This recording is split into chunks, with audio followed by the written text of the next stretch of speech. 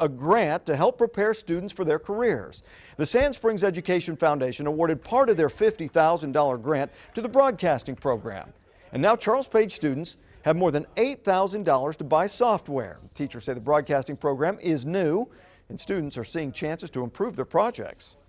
Then the students will get to see more results for the efforts that they're putting forth.